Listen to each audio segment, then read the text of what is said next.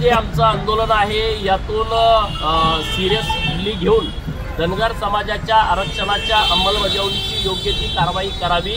अन्यथा राज्यभर उग्र स्वरूपाची आंदोलनं धनगर समाजाच्या वतीनं करण्यात येतील. अधिवेशन सात डिसेंबरला सुरू होते नागपूरला. तर अकरा डिसेंबरला महाराष्ट्रातील तमाम धनगर समाजाच्या वतीनं नागपूर विधान भवनावरती मोर्चाचं आयोजन केलेलं आहे. आणि ते आयोजन हे आंदोलनसुद्धा मोठ्या प्रमाणात होणार आहे. आणि म्हणून राज्य सरकारनं यामध्ये कुठलाही कायदा सुव्यवस्थेचा प्रश्न निर्माण होऊ नये असं सरकारला वाटत असेल तर सरकारनं तात्काळ या आरक्षणाची अंमलबजावणी करावी. समाजाच्या आरक्षणाचा विषय हा संपूर्णपणे वेगळा विषय आहे. धनगर समाजाची मागणी ही नव्यानं एस टीमध्ये समावेश करा अशी मुळीच नाही. आमची मागणी अशी आहे की आम्ही एस टीच्या सूचीमध्ये आहोत परंतु गेली सत्तर वर्ष आमच्या आरक्षणाची अंमलबजावणी झाली नाही.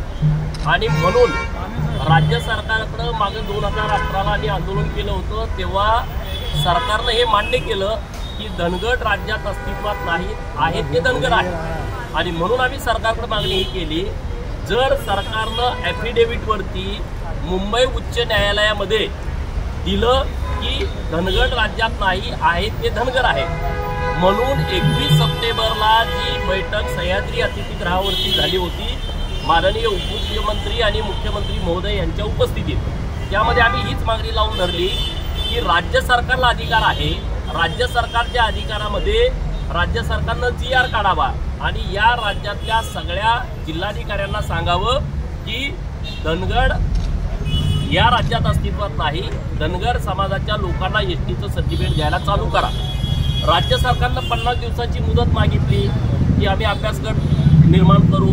तो अभ्यासगट छत्तीसगड तेलंगणा मध्य प्रदेश आणि बिहारला जाईल. आणि त्या राज्यानं कोणती प्रक्रिया राबवली हे जी आर काढताना याची माहिती घेऊन येईल. आणि तशा पद्धतीची आम्ही कारवाई करू.